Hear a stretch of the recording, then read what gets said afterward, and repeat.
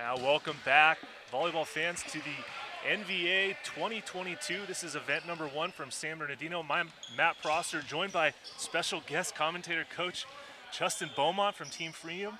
We're getting ready for our final match of the weekend. The Inland Empire Matadors, kind of the home team, taking on the Las Vegas Ramblers here, getting ready to start at 6 p.m. local time. Coach Beaumont, thanks for joining us. Absolutely. What are you looking forward the most to seeing in this match? Well, the Matadors had an interesting lineup yesterday with like only one middle, and they were kind of doing this split pin thing with the setter setting from the middle. I don't think that's going to work too well against this team with Antoine in the middle there. Um, so I'm, I'm curious to see what they do with that. Ramblers are so strong from the middle, and, and then Mathers on the right side. So I'm just excited to see some good volleyball, and, and I hope these guys come out and, and ball for this last match. Yeah, absolutely. The uh, again home team in the Inland Empire Matadors losing last night and looking for some redemption in tonight's match. Meanwhile, the Ramblers did win their first match on Friday, although you're going to see some different faces on the team. A new setter coming in as they lost setter Tanner Maxwell to some previous obligations. Tonight's setter will be Spencer Andrews. Not really sure what to expect from him, but also expect to see action from middles Antoine Aguilar, like you said, Josh Duarte. Really the key players for the Ramblers are going to be Ryan Mather, the opposite hitter, and outside hitter Jordan Hoppy. Yeah. Let's yeah. not forget about uh, Nick England, of course. Sure. He, shout out to Nick England. I mean, I'm sitting in his chair right now, and it is warm. I am glad he uh, he kept it warm for me because I'm feeling some heavy shoes here. Meanwhile, though, for the Matadors, it is good to point out that they did get a middle blocker back. So last night they were only having Patrice in the middle. Tonight they have Brett Massetti, oh, who was help. missing last night. So yeah. perhaps that'll be perfect. You know, yeah, a nice sure. fill in to what you were talking about previously there. Coach. Yeah, because they can play. I mean, they have they have some serious skills, some high flying guys, and I think uh, if they play that fast tempo, I think could cause some trouble for the Matadors. I'm excited to see it. Well, a couple of keys I think for sure has got to be their serve reception. Yeah. Right? We've seen all weekend long the teams that put on pressure from the end line, yeah. right, that can take their opponent out of system, right, has really paid dividends for them. Can you kind of speak on that for us a little bit? Yeah, I mean, this league is made up of so many good passers. Like, there's good passers in this league. There's big outsides. Jake Langlois, 6'10", can pass the ball. Um, Felix Chapman from Tornadoes, he's a big guy but can pass the ball.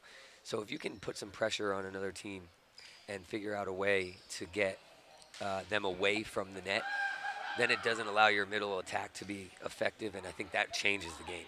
Um, and I think so. The team that does that better, obviously, is going to automatically have an advantage. Um, and like you said, Spencer, Spencer Andrews is here. He didn't set yesterday.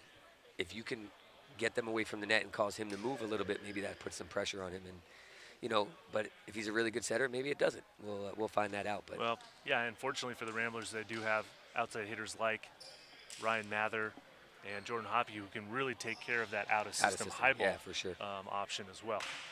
So. Starting teams are out on the floor. So for the Ramblers, like we said, we have middle blockers Antoine Aguilar from Long Beach State, Josh Duarte, number 32. Ramblers wearing their Sunday whites will be on the left side of your television screen or computer screen, whatever you be watching on.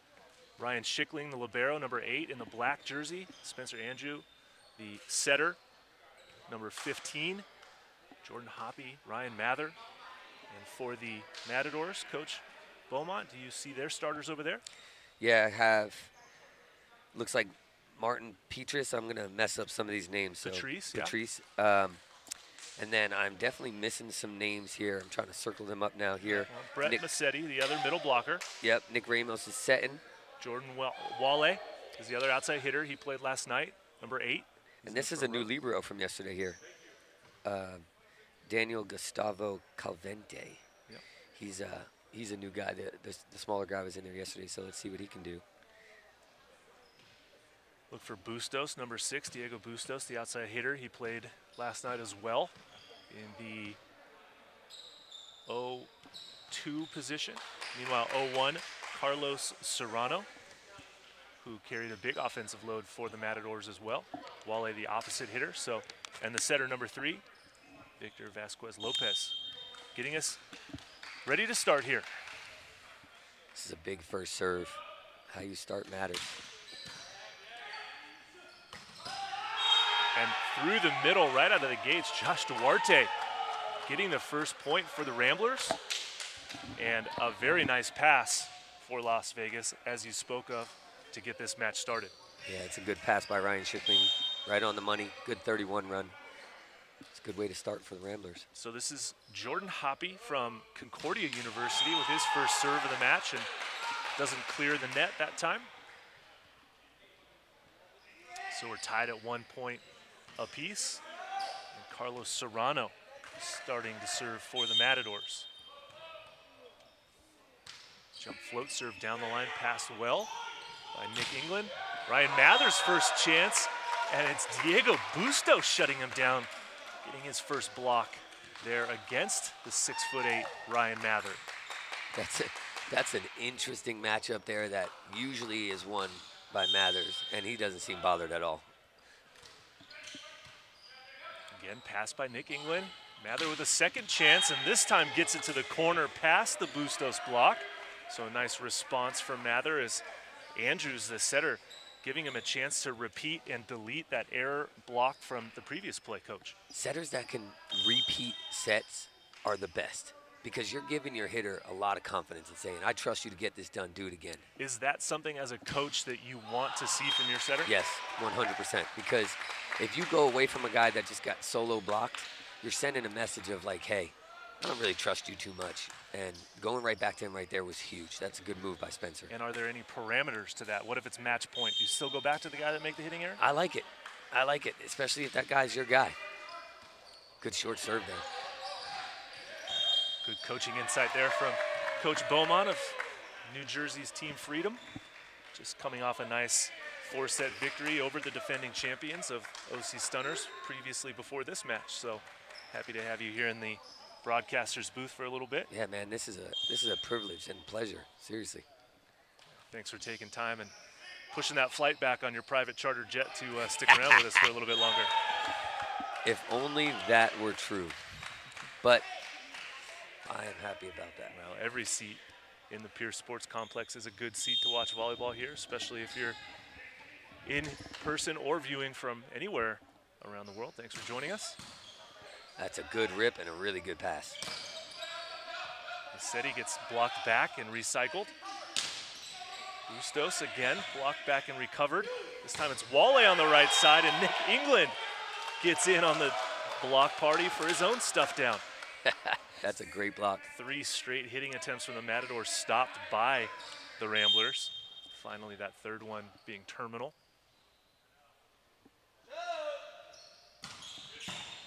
Another good pass off of a great serve. And another Rambler block for a point. So, like you were talking about, the importance of the pass. Matador's doing a good job fighting off the Ryan Mathers serve. He is one of the Ramblers' stronger servers. As this will be his third serve of this run here. He's adjusted his serve a little bit too. He moved over.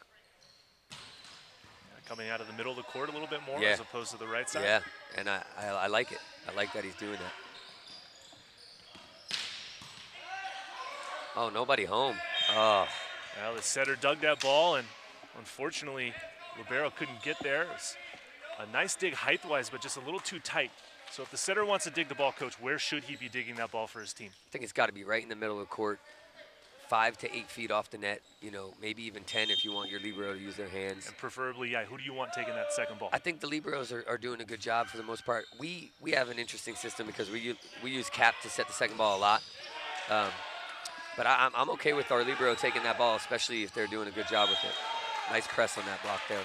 That previous play where the setter dug that first ball, the biggest problem was the middle transition backwards with no visual on where his libero was. So he actually got in his lane where he needed to come in and set the ball.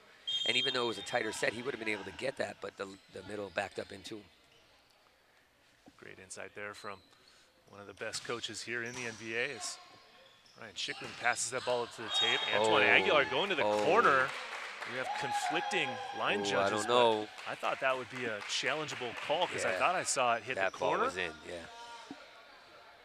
pretty early on in the first set here to use a challenge. So we're going to play on and go to the next point here. Jordan Wale serving again. Pass by Hoppy. Here's England from the left side nice up against the three-man block, and England finds a way through to score that point. Coach, speak a little bit to the importance of the three-man block for So- us, please. I am a firm believer that if you're going to triple block, you have to do it with discipline. So it's a good idea. We actually used a triple block in the last match to, to try to stop Jair. He was killing us, uh, and it ended well because we got a block on him. But if you're triple blocking and you're not disciplined, I think it actually hurts you. It hurts your defense, and it gives more more hands for a good attacker to look at. Um, but if you're doing it successfully, it's a really effective part of the game. And at this level, these guys, if they can do it, they can get a lot of block touches and, and some and some uh, block kills, which is what we want. a bit of the evolution of men's volleyball that we see. You know, uh, three-man blocking, faster offenses. But yeah, I agree with you. You do have to have blockers that. Wow, what a dig! That's a great dig down the line there. Man Blockers bun that on are man bun. blockers that are bought in, willing to work super hard to sell out for their teammates to get squared up shoulder to shoulder Oh, yeah. with their teammates to not have any seams to hit through as a hitter, and then for their defenders on their own team to be able to to work past, you know, and behind that block and defense. Yeah, that unselfishness that you're talking about is so important. And there's some guys in this league who do it really well. the chance. Dig from Bustos. Serrano once again. And this time he gets it past the block. Be Brett Massetti. It's so interesting seeing when a middle is serving what a setter's thinking about. You know, where do I want to go with this ball? Do I use a setter dump? Do I challenge this middle's defense? It's an interesting part of the game. Yeah, you got to hit right at him. That's a good decision there. Well, ever since the libero came into our sport, middle blockers' time in the back row has been significantly Limited. Decreased? Yeah. challenging this league- transition for me when I was playing college volleyball. First two years we didn't have the libero, That's and funny. then the second two years we did have the libero. So that was a bit of a challenge. As I missed playing some defense and getting some digs here Definitely and an adjustment, yeah. Good run, good run. That's a great pick option there. I like that. The Bic has become such a weapon in men's volleyball as well. You guys ran it really well with Cap and and uh, your other outside hitter. How do you guys practice that play, and how do you know when you want to utilize it? You know what's funny about Ryan Kenny, our setter, is he could not run a bic for three whole sets, and then he's throwing one in there. So at practice, you know, we try to do a good job of making sure that we are always ready for it. Like you should be on your first step by the time the setter's touching that ball. So sometimes in practice, what I'll do is I'll sit towards the back of the court and I'll just watch our outsides receiving, our back row outside more specifically. And if that guy isn't taking his approach to go, I'll get on him about the scoring opportunity with him. importance of that in today's style of volleyball and the speed of men's So volleyball. important. Even women's volleyball is starting to utilize the bic attack I option know. as well. I know there's some teams doing it really well And too. there's a couple different philosophies. There's, you know, are you running the bic to a, a spot, Mm-hmm. right? Or are you running it on a on off of the middle blocker's shoulder, who should be making an, a- an approach attempt Yeah. as well, uh, whether it's a front one or a back one. How do you determine which philosophy you really want to use? I think it's a read. I think the middle back, whoever's running that bic attack, has to read what the middle and the front is doing. What our what our middle blocker or our middle attacker at that moment is doing. If they're running a 31 away from the setter, then our middle backs know that they need to stay on the setter. If they're running a one, then they'll go kind of over the top, more towards that B gap, and we'll attack that, you know, that B gap. Um, Ryan Mathers with an unusual roll shot. Usually not something that he would do. He knows it right away too. Yeah, that should have been just a free ball over, but I think he kind of got caught in an awkward position. He was way off the court, backpedaling. Always in scoring mode. I love it, Ryan. We got some guys with some good hair out here right now. This game is filled with good hair. You have to have right side help on that, and it has to be on time. And that's that disciplined blocking we were talking about. Yeah, very know? much so. Having a, a good right side help blocker, staying in there, uh, high hands, you know, expecting the middle to come through. So to go back to the point of the BIC like we were talking about, in transition, I think is what we were just discussing. What about serve reception? And when you're hopefully in a perfect pass offense. Yeah, so if you saw our game earlier, we ran a bic with Cap when he was passing in the one spot, you know, in, in, in, a, in a rotation two situation. And that's like the most deceiving one, I think, because he's coming around a lot of times. And it, as a middle blocker on the, on the uh, um, opposition side, they don't even see that guy. Right. Um, but I like when our guys are looping. I Uh-huh. think they get a bigger approach like that. I think they get more of an explosive move. Um, you just have to have a really good connection and trust between your hitter and your setter. Um, but I, I, I don't like to use um, to overuse the bic. I think it's one of those plays that should happen. Um, a net violation there. That's unfortunate on a tip. I think it's one of those that you should use when it makes sense. And it's weird, right? When does it make sense? I don't know, you know, but I think if you overuse it, it becomes predictable and it makes the middle's life on the other team pretty easy. And what if your setter gets pulled off the net, say six, Ooh. seven feet off the net? Do you still run the bic? Do you give up on it? What's the philosophy there? I think I think our outside hitters are made for those specific moments. I think you have recycle players on the outside that are smart, can hit high, and you know are good at dealing with junk. And not that that set's going to be junk, but it's just not in the most comfortable situations. But I would run a bic from there too. I mean, when our setter gets pulled past the three zone, we still run a bic behind our setter sometimes, and that's we didn't do it at all in this tournament, but I, that's something that we've been putting in practice a lot more. Yeah. Um, Awesome insight, coach. Thank you very Yeah, much for for sure. sharing without giving away too many tidbits for the opponents, you know. Yeah. But uh, it's an absolute, absolute honor to pick your brain a little bit in terms of your team development. So, Ramblers have established a three-point advantage here. Now just one point away from our technical timeout. Nick England with the defense of the Ramblers couldn't get that ball back up in the air, and side out awarded to the Matadors. This is Diego Bustos getting ready to serve.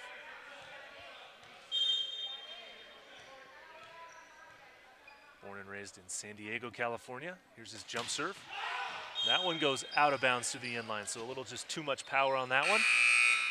16 13, Ramblers with the advantage, and we're going to take a quick technical timeout, so stick around. We'll be right back.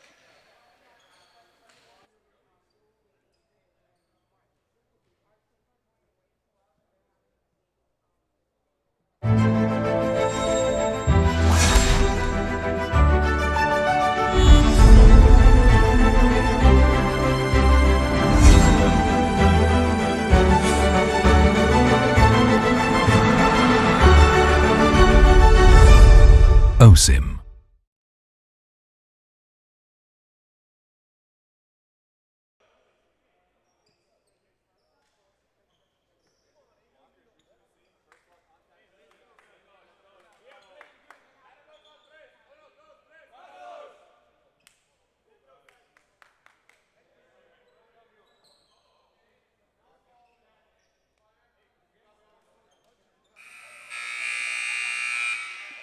Well, the players coming back out onto the court after that technical timeout. Matt Prosser, joined by Coach Justin Beaumont of New Jersey Team Freedom, giving us some high quality, in depth information that uh, some of you younger coaches out there might be able to take advantage of next time you're in practice. And Antoine Aguilar will be serving now for the Ramblers. Jump float serve, passed up to the net. Serrano on the left side. Hoppy's got to go over with it. Overpass to the Ramblers. Bump set from Aguilar. Mather on the right side. Blasting the blocker's hands, and Ryan Mather scores in transition for the Ramblers. It's interesting because Spencer is live right now.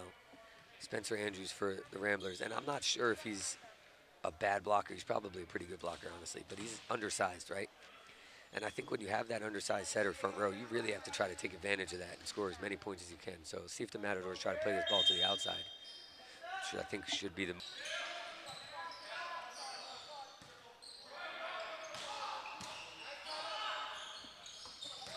Goes quick as he's falling down, oh and it's no. going to work for the Ramblers. Wow. Another dig for Antoine Aguilar, and Spencer Andrews does a nice job literally falling to his hip. Gives a set to the middle, and Josh Duarte scores the point. The Matadors call a timeout. gives me a chance to ask Coach Beaumont a couple more questions here while we got you. You gotta love when your middles are digging though. Oh, when your to middles are digging Speaks and, to my heart. and you're scoring points, that's like what better energy to have. That's the best. I love seeing middles get digs. I love seeing them score serve aces, right? Um, look, liberos are a great addition to our game. I'm glad they have a role. They do good things, right? Middle blockers can still play defense here and there. It's a bit of uh, you know self-pride. Yeah. I always tried to make it a, a very big point to do the best that I could when I was in the back row for that one opportunity, and uh, sell out for my teammates when Yep. you know my number got called there. So Yeah, he's doing a good job right now. He's not even serving the ball, you know, maybe super aggressively from a speed standpoint. He's placing it, putting it in a smart spot, and then he's like, you know what? I'm good at defense. I'm going to get a touch here. For Well, let's guys." talk about that a little bit, Coach, because you know the service game in men's volleyball. A lot of people complain about it. Say there's so many missed serves. Like, why are there so many missed serves in volleyball? So, talk to me on the philosophy Oh, of how important is pressure versus errors versus aces in your mind. For men's volleyball, so I coach men's and women's volleyball. For men's volleyball, I think it's pedal to the floor most of the time. Because if you serve an easy ball at this level, you're getting something smacked back at you really, really quickly. And I think you Right. got to go for it. Right. Now, as a coach, statistically, looking at eight or nine missed serves on paper is not attractive. But if but if you're scoring points or getting that other team rattled and out of system, I think those eight or nine misses are justified, right? I think you have to do it. Um, I mean, Antoine has just served, in my opinion, five or six points in a row that are that most people in this league could pass a three pass on. Right. But he's got a good block set up with a weaker lineup in the front row for Matadors, and it's just smart serving. Smart serving is aggressive serving. Um, when guys go back there and just rip their hardest serve and miss four or five into the net, that's not aggressive serving. That's just wailing at the ball. Now, do you typically have someone on your team that always has the green light to rip their serve? Yeah, for sure. We, you know, we got two or three guys that I would say I don't really talk to them much about where to serve or how to serve. I let them go get it. Um, maybe there's moments in the game where I'll say to them, "Hey, you know, we're blocking really well right now. Let's be smart about this." That's a useful dig there. Antoine with another good set. But yeah, two or three guys I would say have the green light, and then the rest, more placement and a little bit shorter leash. Oh, good spin on that ball. Very smart. Oh, you got to move your feet on that one. Oh, oh that's four contacts. Four contacts. as the ball ricocheted off of Massetti's arm on his approach. Unfortunately, bad break for the Matadors on that one, but kudos to the Ramblers with some good quality one-handed defense, not allowing the Matadors to find the floor or get a side out. And again, Antoine Aguilar serving for the Ramblers. This is a great run for them. See, he goes aggressive on that one. Makes makes sense. He's on like serve number eight. We talk a lot about serve progression, right? So is that something that you utilize where your first one's in and then you kind of turn it up, dial it up a little bit? Especially at the beginning of a match, right? This is the first set. These teams are just coming out. They're just, you know, getting used to the light, whatever the case is. See one in, see one in, and then next time you go back there, you want to go ham. I'm okay with it. But yeah, if you never see one in the court, I mean, you're, you're not even sure if we can play defense, you know? And my final question for you, sort of on this topic, when you're preparing to play a team, are you looking at serving a specific player or more attacking the seams between the two passers? I think it depends. If we if we know a guy is struggling passing the ball, like on a specific weekend, say good run out of the middle right there, nice turn back to the one, um, then maybe we'll serve spots. But the problem with serving spots is you tell these guys, hey, let's serve a spot. They serve a little easier now, right? Because they're trying to hit their mark. And a lot of times I just tell them, hey, go back there and let's rip our best serve and let's try to hit it in the seam, and let's see what happens, you know. And uh, I think that that pays dividends as you go down the stretch of the match. A little hybrid floaty there.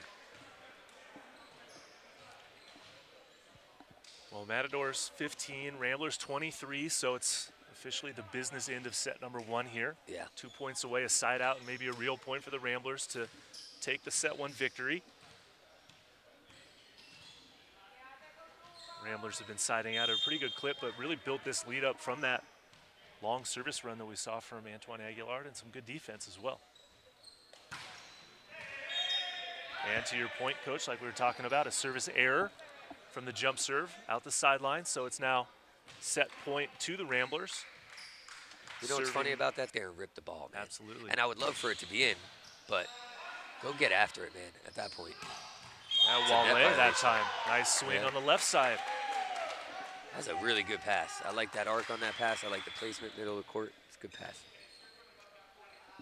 Jordan Wale, the benefactor of that good pass, as you say. Still set point now for the Ramblers. 16 serving 24. Carlos Serrano with a jump serve.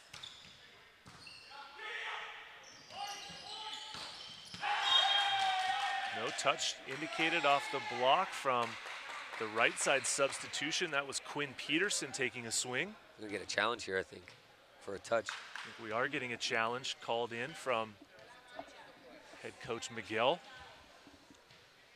of the Ramblers. So this will go up to the replay booth. And Justin, while I got you here, let me ask you your philosophy on the challenge system while you're coaching. So in the moment, right now, it's 16-24, possibly 17-24. What do you, what do you think about, you know, is this a good challenge? Would you challenge this play? Would you I mean, Give me some insight on that. I think it's a good challenge. If you definitely think there's a touch, you got to fight for every single point. I- I'll challenge at 1-0. I'll challenge at 24-23. It doesn't matter to me the score. I think you have to fight for your team. You have to you have to show your guys that you're willing to do something from the sideline to help them. And a challenge is, is one of those l- few ways that a coach can actually influence the game.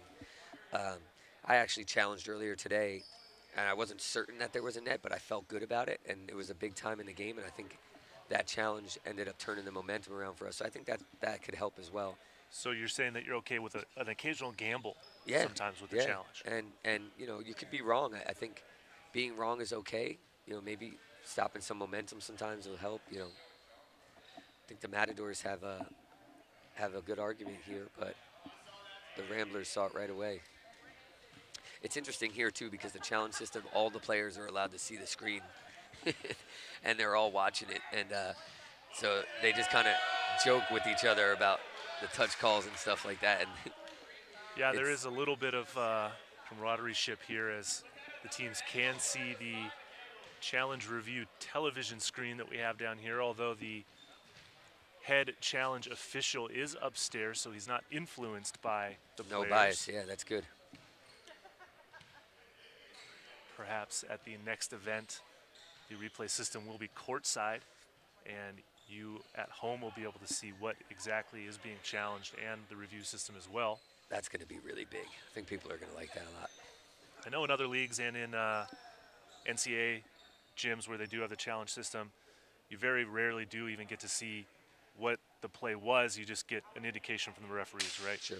Um, I know over at Long Beach State, I broadcast there, and we don't even get to see the replay. We just hear from the official what it is. Yeah. Um, over in Italy, they have a, a video check system where they have an official that runs through the videos. They show the very defining moment of the play up on the big screen, Yeah. and then they make the uh, point call towards And then the you get uh, some crowd team. crowd sounds there. Right. yeah. But you're right. The players don't know what they're looking at. It's almost, and it hasn't been utilized here so much, but almost as like a third timeout Yeah. for you to use Yeah. and talk with your team. But with the TV right here on the sideline, it's a bit of a distraction for the players. Sure. And that call is upheld, so results in a point to the Matadors, and Maybe not enough uh, not enough evidence Not to enough. overturn. Yeah. Exactly, Sure. not enough evidence here. But still set point to them, so Serrano continuing to serve. All of that for that.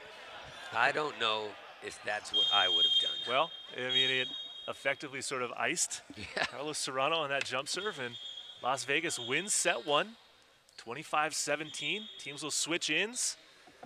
We will be right back after this three-minute break, so stay with us. This is the NVA from San Bernardino, California.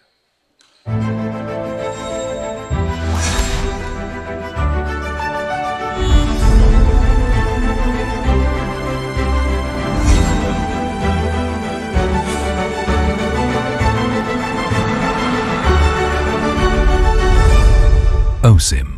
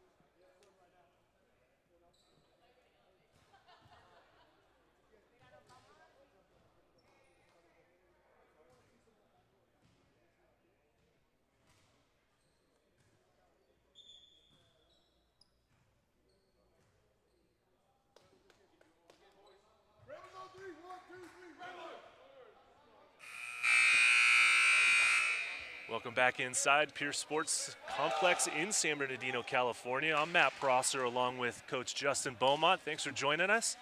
Las Vegas Ramblers winning set number one of our 6 p.m. match here, the final match of the weekend. Event number one, nearly in the books. However, it's a three out of five match, so the Matadors still have a chance. Ramblers taking a one set to zero victory so far after set one. Coach, if you're coaching the Ramblers, what's your message to your team after that victory? We got to stay pedal to the metal here. You know, it's so easy after a convincing win like that where you're seemingly doing nothing wrong um, to relax. And, you know, last match of the weekend, these guys have been here all weekend, had a whole day off yesterday after playing Friday. Um, so, you know, fatigue is probably kicking in at, at a certain point. And uh, just basically, hey, guys, let's play hard. Let's play hard for the whole time. And, you know, if we uh, if we take it easy here, then we're going to make this harder than it has to be. You know, Yes. let's, let's get it done. Good insights there. And then for the opponent, for the Matadors, what are you saying to that side over there if you're their coach? We have to capitalize on good passing because passed the ball really well that game and just did not score points. And what I would be telling my hitters is, hey, go for it. If they block us eight times, and they block us eight times. We got people covering. Like, let's get after it. And um, and don't be afraid to, you know, hit an angle or hit hit a hand that you don't normally do because that's how you're going to get better here. Um, and run run the ball in the middle a little bit more. See what's going on here. Establish that. Pass and activate the middles. Yeah. Here's Nick England getting us going here for set number two. Sharp angle from Jordan Hoppe on the left side for the Ramblers. So a good pass from the Matadors that time, but the setter calling his own number, going for the dump. That was Victor Vasquez Lopez that couldn't find the floor. I like the idea. The idea was good. It's just you have to you have to use your peripheral vision and see that that blocker's not blocking. It was an easy pickup. Another good pass, man. Yeah, there you go. Establish that middle. Oh, Bustos is there to shut Nick England down from that big attack in transition. So, Coach, you're right. So far, two good passes from the Matadors. They did pass at a 67% positive passing rating in set number one, although they only hit 270 for the set. So, offensively struggling, but passing somewhat sufficient. Love when the middle's ready for a dump and it gets blocked. Midair covering that Yeah. time from Antoine. Oh, they got to call that attack one. off Yeah. the block through the inline. So Matadors Take those their- risks. That's a good risk take. You said getting rewarded for those risks. Can't play it safe all the time. Nope.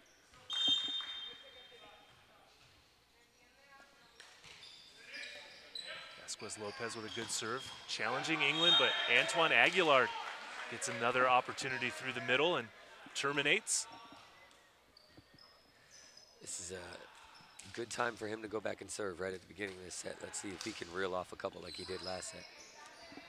We were talking about that run, about six serves halfway through set number one that really established that big lead. Wale tips it over, but it's picked up from Hoppe. And Duarte in the middle on transition gets it. How important is it, coach, to be able to set middle in transition for your side? Extremely. I think if you can run your middle in transition, you put a lot of pressure on your opponent's pins to pinch in and help on that middle attack, which will then open up your fast tempo offense to those outsides and right sides. And I think that's something we put a lot of emphasis on in our gym for sure. Another dig by Antoine. This guy's the MVP of this weekend. Oh, Bustos getting the kill off of the Rambler block as it goes out of bounds. But yeah, another dig for the middle blocker, Aguilar, that time.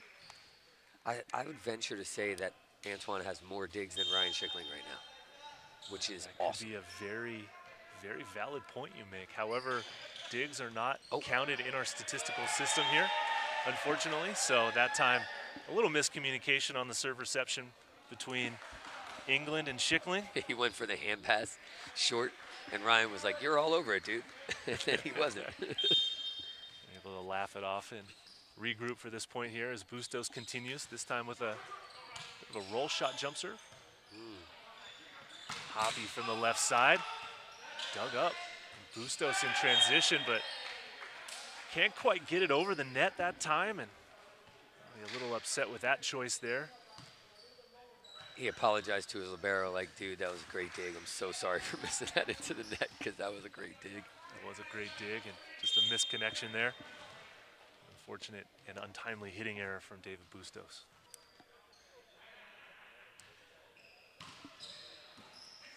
Good hand pass, another good pass, man. Yeah, there you go. Run There's the Patrice out of the middle.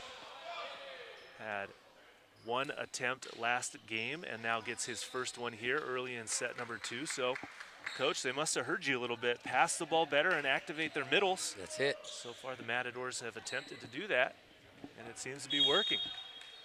Patrice back to the inline to serve. Still working on England. Right side from That's Wale. a good run. Sorry, Hoppe that time, and nicely run offensive play that time by the Ramblers. His name fits him well because he jumps really freaking high. At first, I thought it was a joke, like that's Yeah. not really his last name, but Yeah. it is Jordan Hoppe, H-O-P-P-E. Well, he is hoppy because he gets up. Can jump. Nice Another good pass, man. To the middle, yeah. That's awesome stuff by the Matadors. I'm proud of them doing that. Sounds like you're coaching for two teams now all of a sudden, right? Good pass equals a set to the middle, and their quick hitters are ready to get those attempts and score the points for their side. It's so easy for setters to get bored too, right? Like, hey, we just did that four times in a row. So what? Do it again. Yeah, if it's working, understand. keep doing it. Don't go away from it. Stick to the game plan. Oh, Wale no uh, just getting home no, net advantage there. no home net advantage there, even though the Matadors do call this their home gym. I need Looks to like check the net tension. Substitution coming in here? Not yet. Running a little modified 6-2 over there for the Matadors, potentially. Oh, nobody no home. left side hitter over there. That's an easy decision for Spencer. Ramblers make him pay. Yep. Antoine Aguilar taking care of that one as some confusion on the Matadors side in what rotation that they should be in. Jimmy Montez, the outside hitter, ready to pass here. Wale on the right out of the back row, and he can't find court. So once again, Coach Beaumont emphasizing run the middle. When they go to their pins, they have some problems siding out, and Ramblers now back up by two. I would just do it until it hurts. And if if uh, you know they get a couple block touches and they score on it, So you're a man after my own heart. Just basically set the middle as often as you can, that's it. especially That's if it's it. working. Right? Yeah, and serve receive is the most obvious time that a setter is going to run the middle. So, but like you said earlier, in transition, if you can set your middle, get after it. Trust them to get the job done. Especially, we have some pretty big and talented middles in this league that Well, hit great angles. You would know. smart. You've got the biggest one on your team, seven footer Paul Balanzik. Yeah, yeah. And Matt Seifert, who's six foot ten, 6'11", yeah, six he's eleven. You have a very tall team. big guy. Yeah, this is actually the tallest I think we've ever been. And Quinn Peterson gets a second chance opportunity and converts that one for a point after making a hitting error on that previous attempt. Again, Spencer Andrews did a good job there going back to him after hitting error. Hey, dude, I still trust you. Get after it. Show me that you can do this. Good job by him.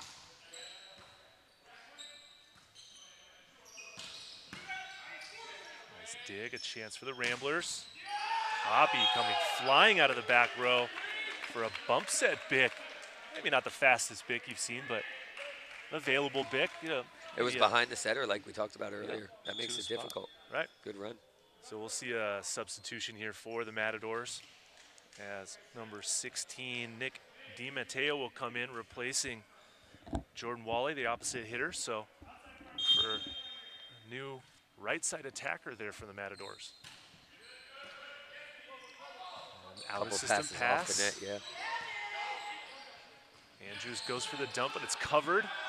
And the block finds the floor, so Matador's doing a good job on their block and defense, getting reset for that quick play. And We'll see another substitution come in here for the Matadors. This is going to be Serrano replacing Brett Massetti to serve. We'll see if Serrano plays middle through the front row, but this is sort of that creativity in the lineup that we were talking about earlier, Coach. And Matadors trying to play some games with their own personnel and seeing if they can solve the riddle that is the Ramblers right now.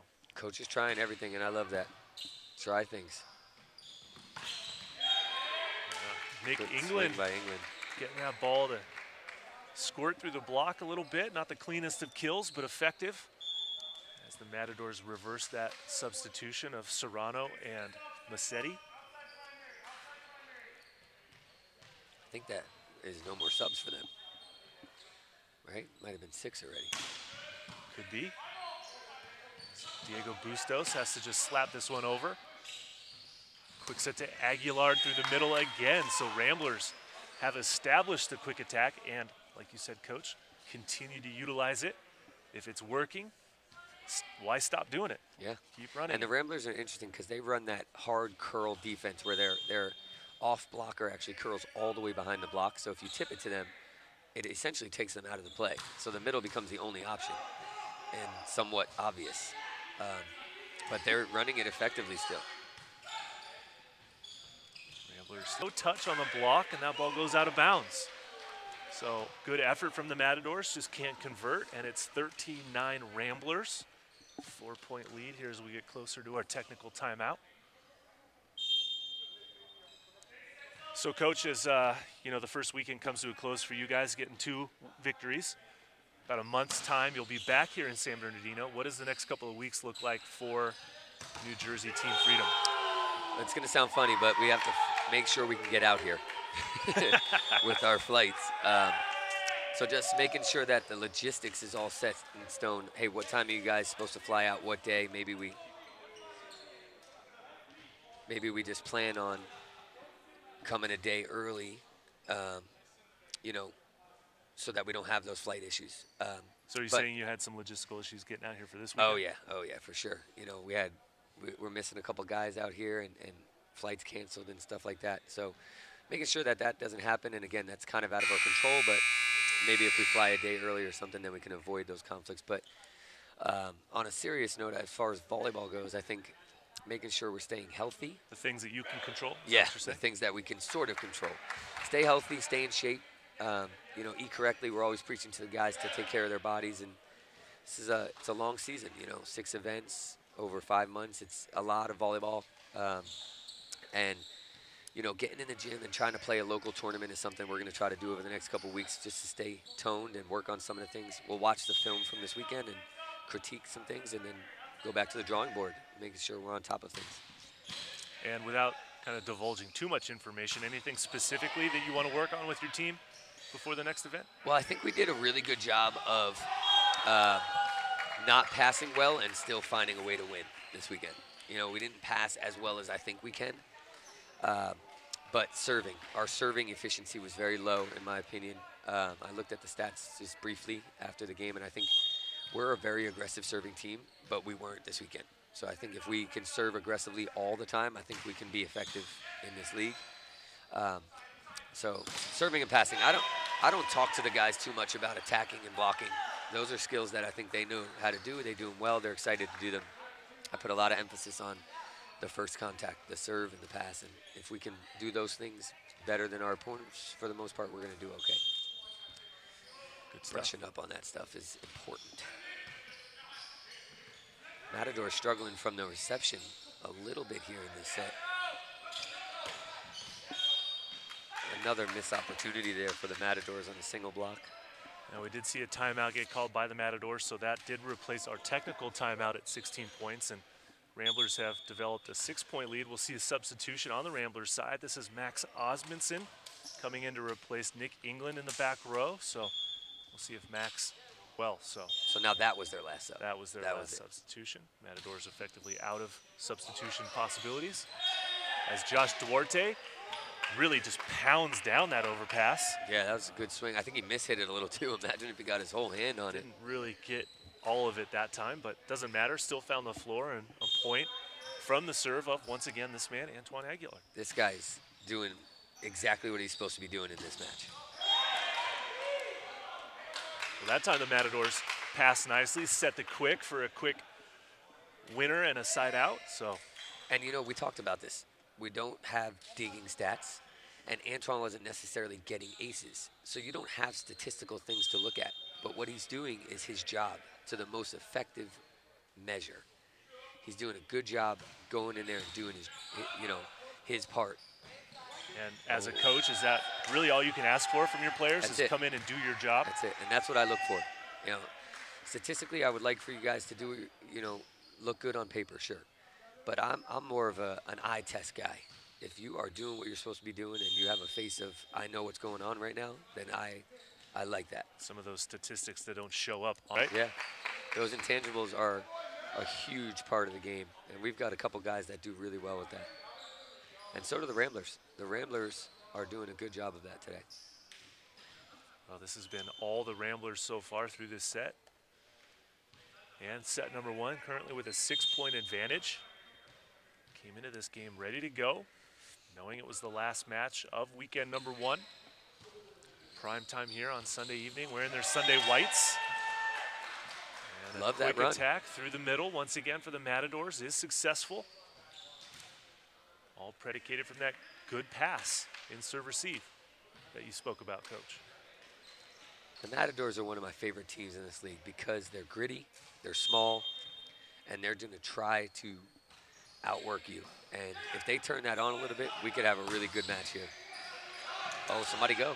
Pinballing Nice. up in the rafters to a free ball. Passed by Duarte.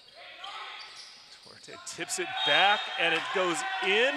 Oh, we're going to have a challenge here. We're going to have a hard challenge here, looks like.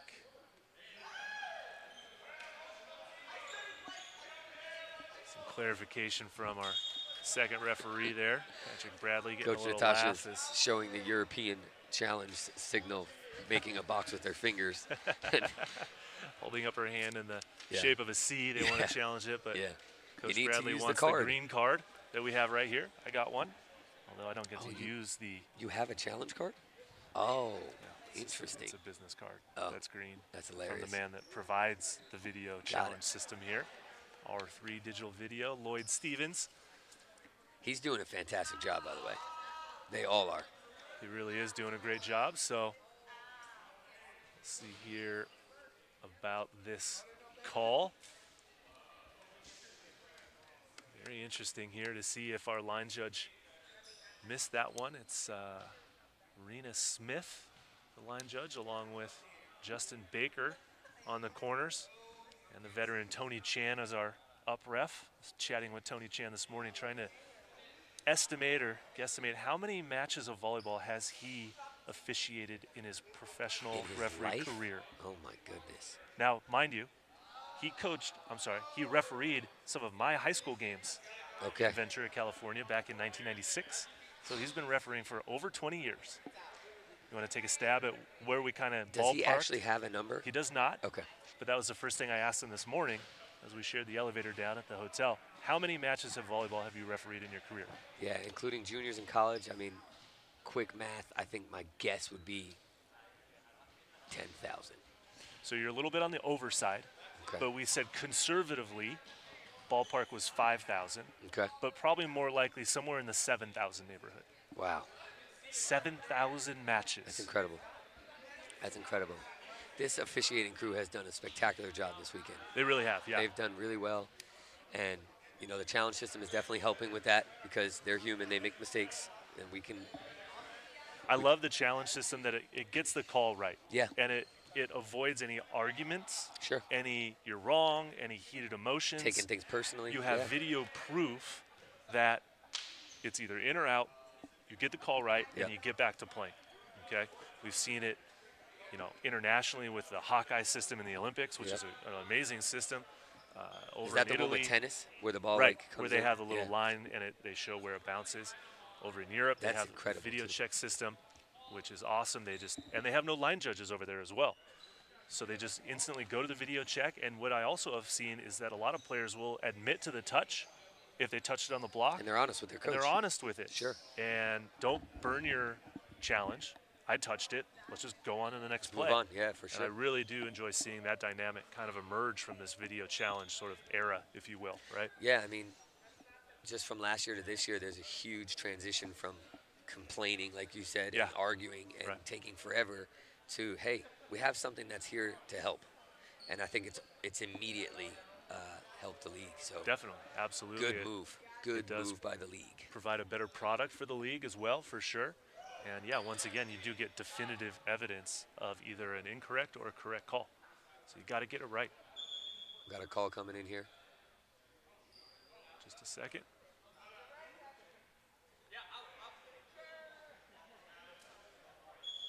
Ball is called in, and the point does go towards The Matadors are surprised here. Point does go to the Ramblers, so still some extra conversation. However,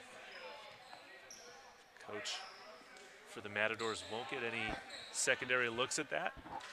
So a little bit more extracurricular activity going on, but our video check official did confirm it. Ball was in, so it's overturned. And here's Jordan Hoppe serving now, 19, serving 13. Ramblers up by six. I have a fun fact. Well, let's hear it. The head coach of the Matadors is married to the right side from the Stunners, and they just did their gender reveal today Yes, they before did. our match, and it's going to be a girl. It And is going to be a girl. amazing. That was a very awesome gender reveal where she tossed up a volleyball for Jair to spike, Spiked it. and That he so cool. popped it, and out came the pink confetti, And then he started crying. and then he teared up on the court. It was a very special moment for those two, expecting their first baby girl here later this year. So Congrats to them. That's so freaking awesome. I love congrats that. to them. And the Matadors call a timeout. Stick with us. We'll finish up set number two here probably right after this timeout, but we're going to take a short break, so come right back with us.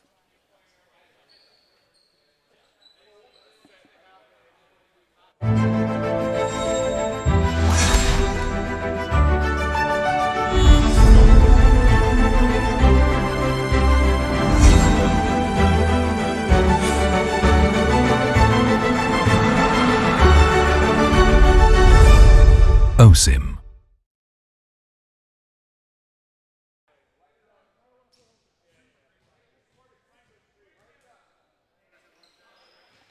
All right, back to it now as the players come back after that short timeout. Jordan Hoppe and the Ramblers with a seven point advantage now, 20 serving 13. This is set number two. Ramblers with a one set to zero advantage here.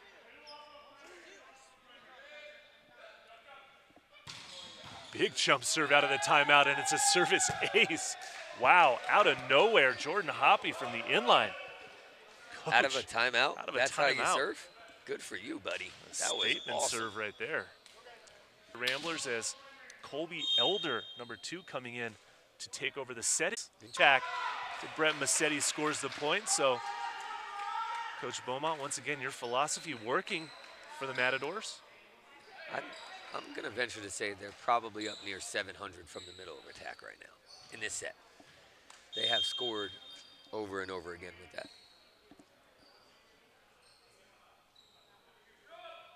There's Walle's jump serve going after Schickling, nicely passed. Oh, good. Osmondson gets his first attempt, and that one goes sailing through the end line and out of bounds. So just a little too much mustard on Max Osmondson's first attack opportunity there. And it's now 15 serving 21. Matador still playing with a little bit of a deficit here. Ooh, that serve Oh, just I don't know. I don't know about that one. Possibly caught the end line, but not going to see a challenge as they already burned one in this game. And it So- just happened. So And it did kinda happen, fresh. right? A little gun shy on pulling that green. When the Matadors do get the pass up to the net, they're able to side out, but the, the Ramblers' service pressure has really hampered that for the Matadors, keeping them out of system and really giving their outside hitters and pin hitters some troubles all night so far. And they're not scoring real points. They need to score when they have the ball and they're serving, and that's not happening. You're right. So that's They're- the only way you can go on runs. Their blocking defense has not really proven to be very effective for the Matadors. And when they are serving, they're not scoring off of that serve either. So 16-22 here. Good service pressure there. Osmondson again, and this time it goes into the net. So Osmondson 0 for 2 well, he's in the front row after replacing Nick England. There's a real point. And there is a real point. Unfortunately, it's off of a hitting error and not uh, a block point for the Matadors. The jump serve passed well off the tape. Aguilar goes with the cutback, but it's picked up. A down ball, nice diving save. Osmondson, number three, gets dug. Osmondson on the overpass attack, follows through and hits the net. So point again to the Matadors and their second real point. On another hitting error. Coach Beaumont on another hitting error. But they're applying pressure from the service line and setting up decent blocks, which causes errors. It's good. Just trying to piece it all together are the Matadors right now. Pass well, Schicklinger's Hoppe out of the back row as the setter got pulled off the net. Still able to throw in that big attempt. It's a good run. Hoppe scores the point. So 23-18 now. It's incredible how different some of these teams are going to look two months from now. Yeah, there will be some different faces on each team, more names to remember for us here in the broadcast booth, but excited to see some of those new looks as Osmondson is able to get his first kill of the set that time on his fifth attempt. So not the best hitting percentage for Max, but that time effective, and it is set point Through a triple for block. the Ramblers. And that was the one time where I wouldn't have tripled. This guy just had two hitting errors, and if you're not disciplined, you're going to get a roll through ball. Very good point, Coach. That'll wrap up set number two here from the NVA event in San Bernardino. Coach Beaumont, it's been an absolute pleasure. I know you travels home, and for you guys watching, stay with us. We'll be right back after this timeout.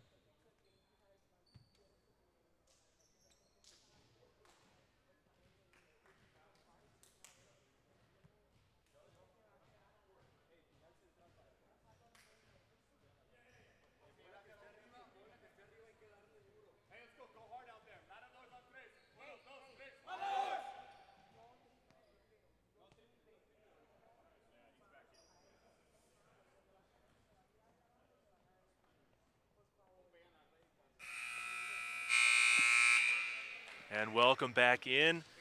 to the Pierce Sports Complex here in San Bernardino, California for the final match of the NVA USA 2022 season. My name is Matt Prosser. Thanks for joining me. And a special thank you to Coach Justin Beaumont for joining me here in the broadcast booth for those first two sets. Some really good insight from the head coach of New Jersey's Team Freedom as they went 2 0 on the weekend. And right now, Las Vegas Ramblers with a two set to zero advantage here in the match, winning set one 25 17 and set two 25 18. Quick glance at the statistics here for the Ramblers, hitting at a 52% success rate, six blocks. Meanwhile, for the Matadors, only four blocks, and a 30% hitting percentage is not quite good enough to get it done. Although they did show a little bit more growth offensively with some success there in set number two, running through the middle.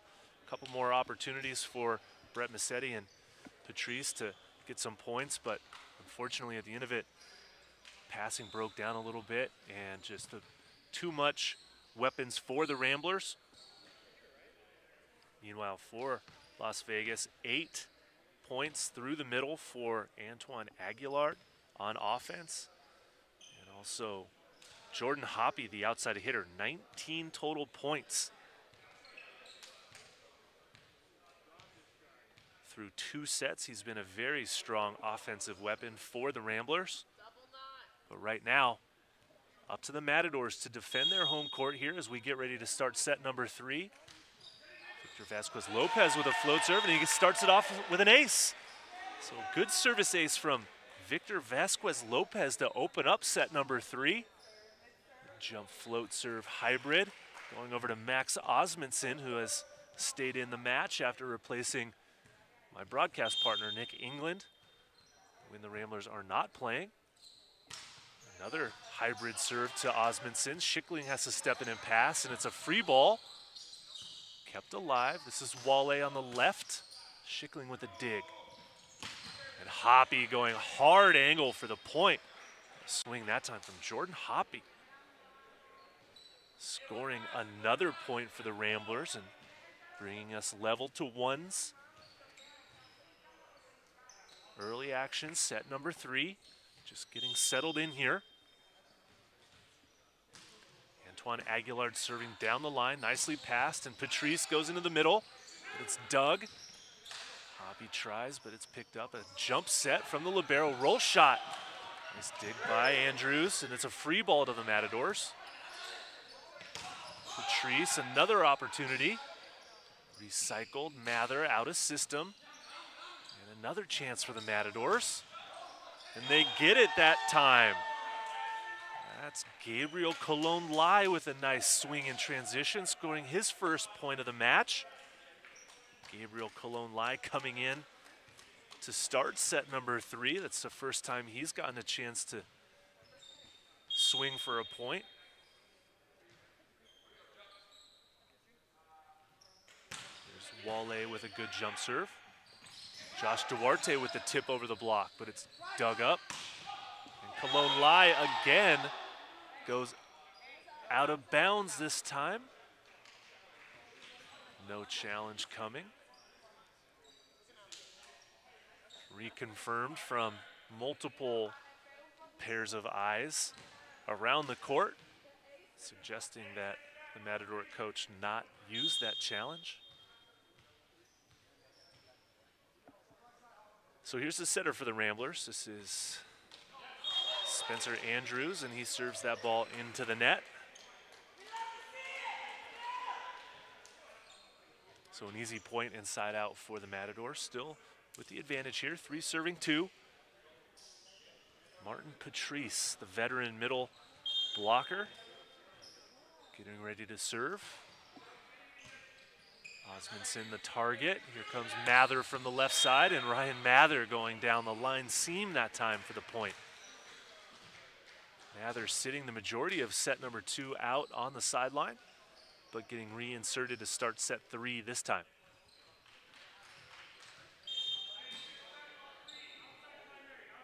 There's Jordan Hoppe, played his college volleyball at Concordia University of Irvine, was coached by Sean Patchell.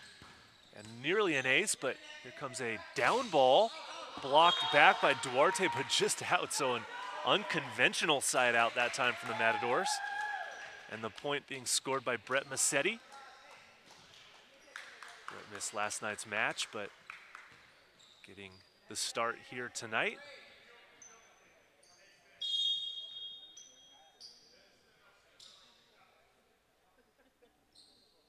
Gabriel Colon Lai getting ready to jump serve. Goes down the line and it's a running set from Andrews out to Osmondson. High off the block but controlled.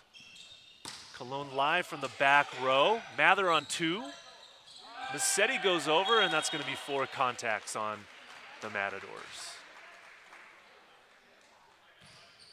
So the Ramblers were able to work themselves out of a non-perfect pass. And now Josh Duarte, the middle blocker, will be serving, wearing number 32 in honor of one Magic Johnson, his favorite basketball player. And that serve goes into the net. Service error to Josh Duarte, and the Matadors stay with that one point advantage. Five serving four. Carlos Serrano looking over to the coaching staff for some serving guidance. Goes down the line at Osmondson. Mather on the right side, and he terminates with a big swing from Ryan Mather.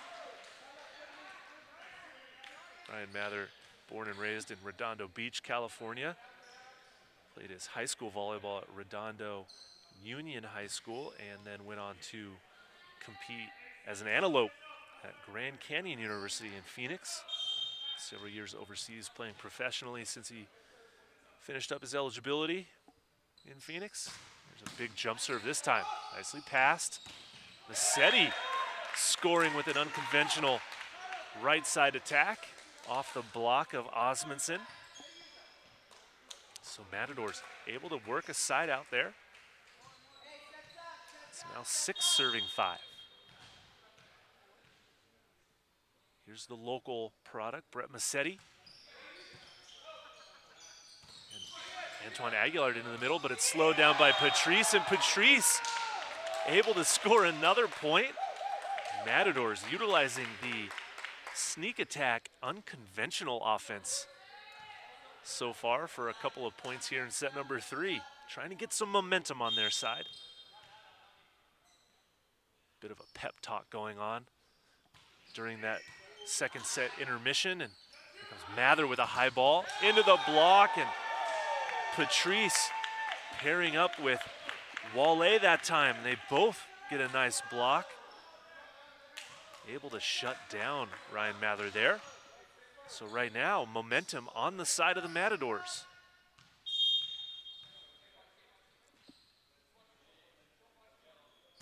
Massetti with another jump float serve, passed well from Hoppy, and Aguilar this time delivers on that ball, and just too much heat for Serrano to handle. So a good pass results in a quick attack and a point for the Ramblers.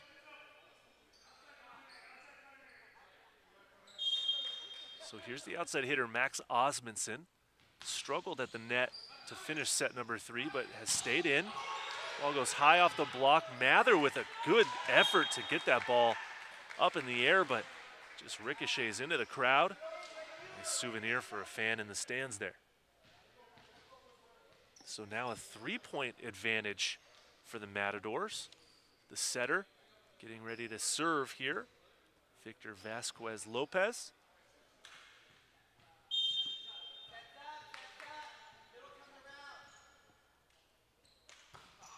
Little off-speed jump float serve, can't get past the net, so a service error to the Matador side.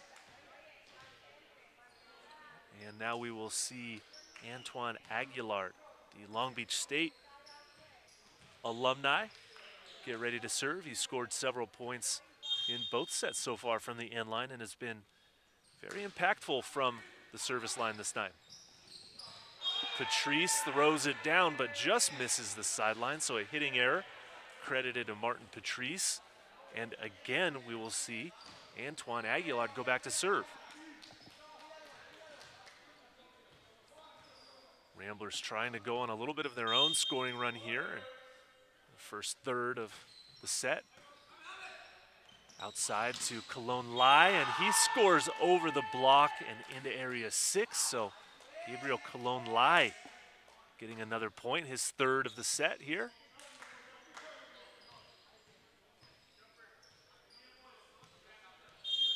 Now Jordan Wale getting ready to serve for the Matadors.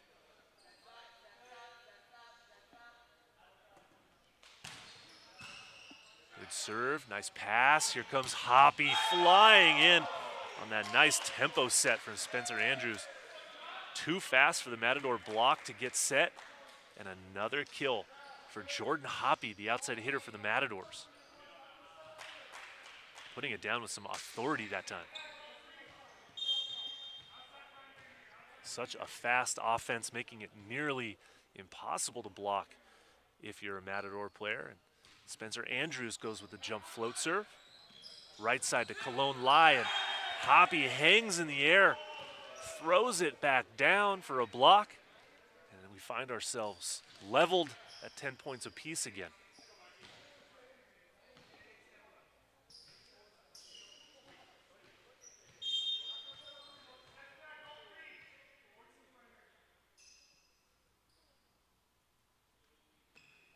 Spencer Andrews with a good jump float serve. Into the middle, Patrice, it's Doug. Duarte has to free ball it over. Chance for the Matadors to Patrice again, and this time he scores the point.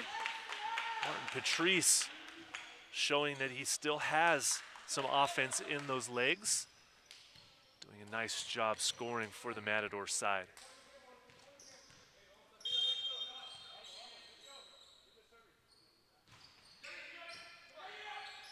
quick set this time to Duarte. And the Ramblers return the favor and the quick attack.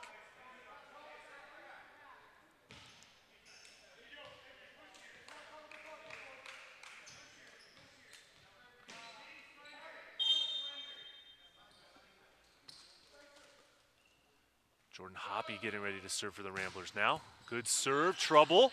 And that ball goes out of bounds as Esquez Lopez nearly comes into the scores table and breaks one of our sponsor signs. We don't want that, but a point being credited to the Ramblers.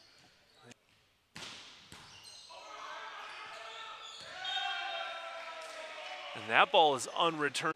Sets to zero, and we will see a timeout called by the Matador side. And we'll take a quick timeout as well. Stick with us. We'll be right back after this short break.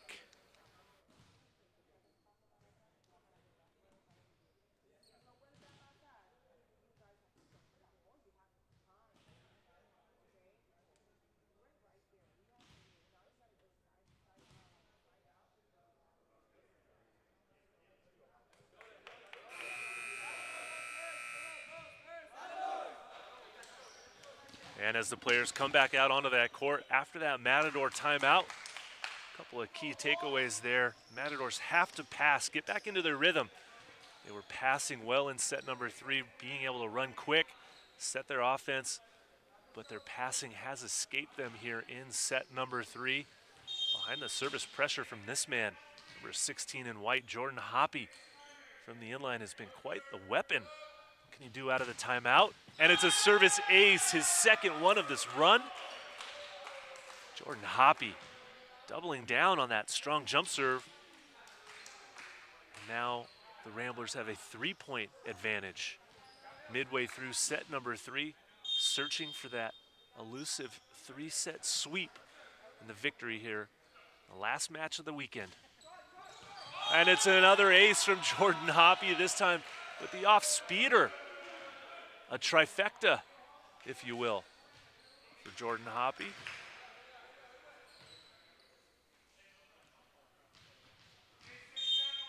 What does he do this time? Does he go back to the power or try to disguise it with another roll shot? High toss, he goes for it. A one-handed pass perfectly goes to Massetti, but is blocked back. And another attempt here. And they're able to get the side out. That time, an unconventional side out, but effective from Serrano. scoring that point.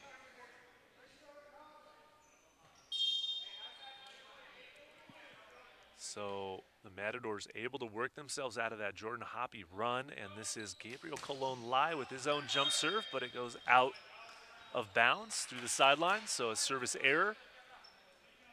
Point going to the Ramblers side as Aguilar comes back into the front row and replaces the libero, Ryan Schickling. This is Josh Duarte getting ready to jump serve. Passed up nicely. Matadors go overhead. Colon Laya dig from Duarte. Overpass. And a chance for Wale, and he gets it out of the back row. So second opportunity leads to a point for the Matadors. After some nice defense from the Ramblers side, just not able to put a transition attack together.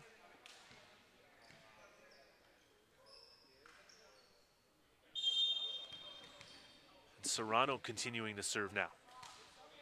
Short jump float serve. Tight pass from Schickling. The overpass results in a point for the Matadors. Wale taking care of that one. And it's now 14 serving 16. Serrano going at Hoppe. Mather from the right side, and he gets the ball to fall on the floor of the Matadors side. So Ryan Mather able to earn the side out.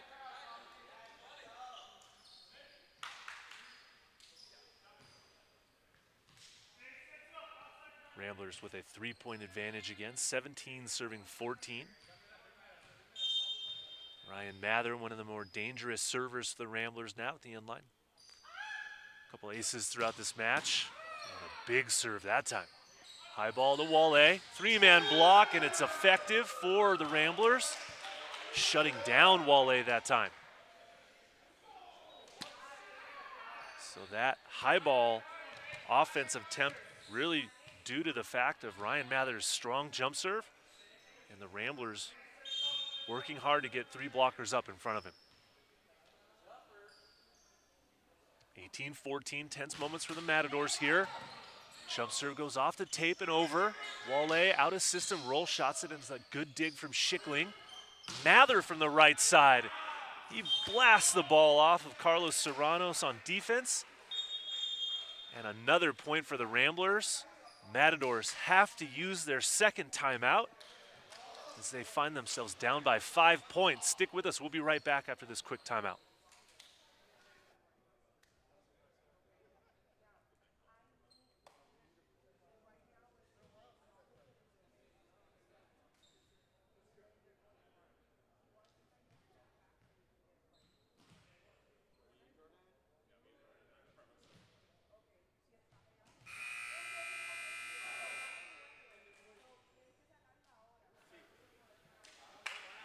Team's coming back out onto the playing surface after the Matadors decide to use their second and final timeout.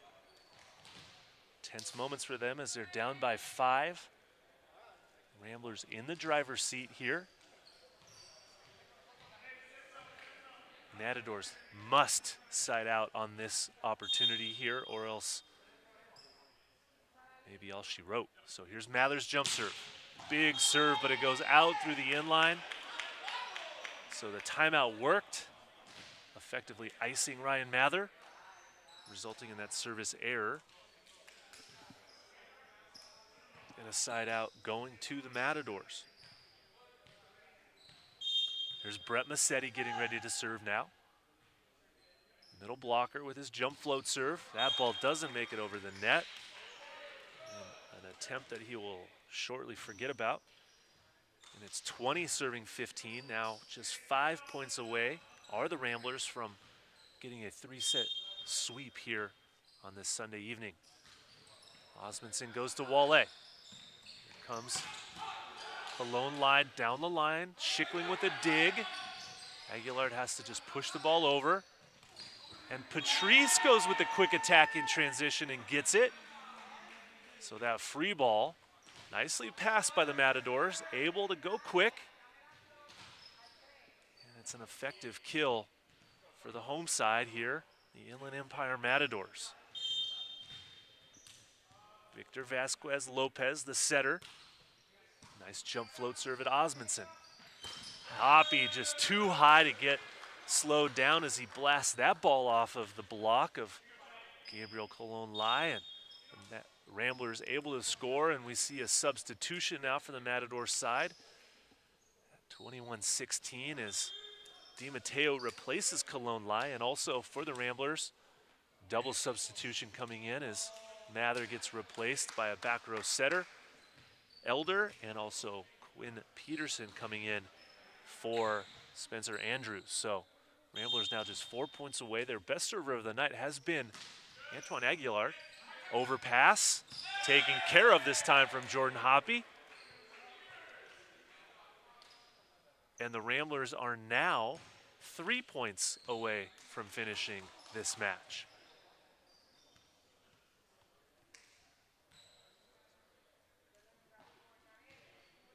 Antoine Aguilar, the middle blocker, getting ready to serve once again. His jump float serve has been very effective this evening in getting the Matadors out of system, but here's Wale on the right, and he finds the floor inside the block. Going with that cross-court angle winner is Jordan Wale. 17 serving 22. Matadors looking to find a little magic here. See if they can climb back into this one and maybe steal set number three. Here's the jump serve. Passed well. Quick attack to Duarte, gets picked up. Serrano on the outside, goes high off the block and out of bounds. So Carlos Serrano able to score the point in transition. And now the Matadors are only four points down to the Ramblers. It's 18 serving 22.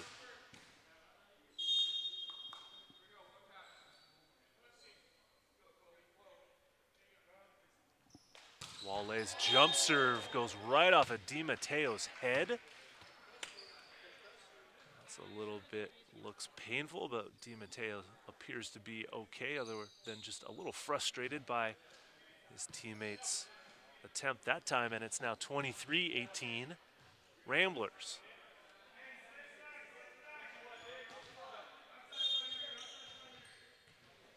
Quinn Peterson now with the jump float serve.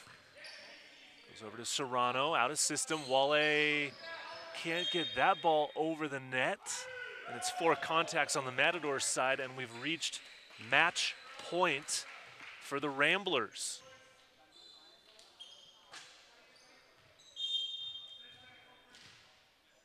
Match point now. Quinn Peterson's jump serve doesn't make it over the net, so we play on. So Matadors get a free point from that service attempt.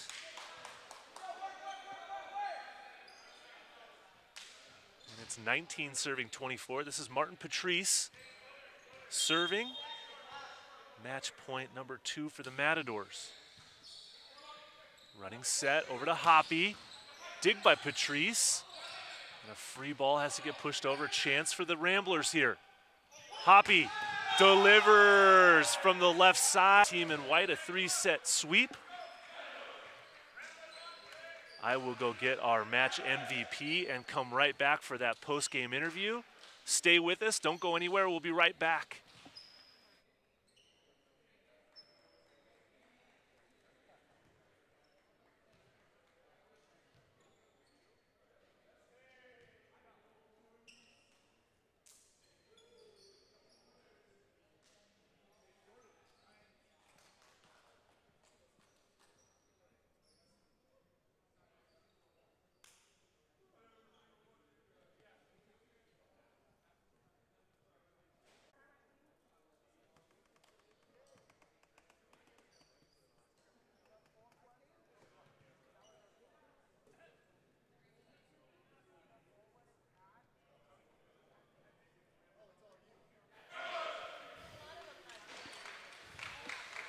All right, well, Ramblers winning that match in a three set sweep. I'm joined by man of the match MVP, Jordan Hoppe. Jordan, congratulations on the win. Thank you so much. Yep. How's that feel? Feels good. Feels good. Ra- got one for Rambler Nation, so feels good.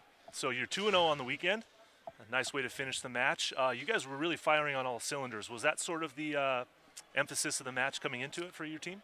Yeah, I think uh, the only um, we need Mather and uh, Spencer, our setter, to find each other a little bit. Once they found each other, I think we went rolling from there. Um, they, I, this is our first game playing together, and they found each other, and I think the whole offense uh, benefited. Yeah, you guys really did side out at a very good percentage. As far as your block and defense goes, pretty effective.